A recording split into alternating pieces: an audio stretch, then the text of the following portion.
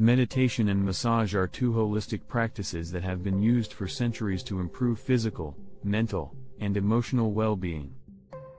This guide aims to provide an introduction to these practices, explaining the benefits of each and how they can be used together to achieve optimal health and wellness.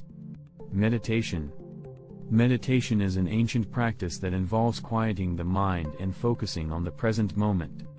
There are many different forms of meditation, including mindfulness meditation, loving kindness meditation, and body scan meditation.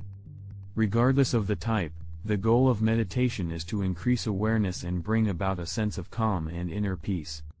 Benefits of meditation reduces stress and anxiety, improves focus and concentration, boosts the immune system, lowers blood pressure, improves sleep. Massage Massage therapy involves the manipulation of soft tissue and joints to alleviate pain and tension. There are many different forms of massage, including Swedish massage, deep tissue massage, and sports massage. The type of massage that is right for you will depend on your specific needs and goals. Benefits of massage reduces pain and muscle tension, improves circulation, boosts the immune system, reduces stress and anxiety, improves sleep. Meditation and massage a match made in heaven. Meditation and massage complement each other perfectly, providing a powerful combination for promoting overall health and wellness.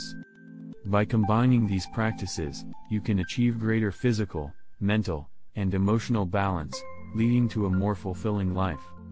Meditation and massage are two holistic practices that have been used for centuries to improve physical, mental, and emotional well-being.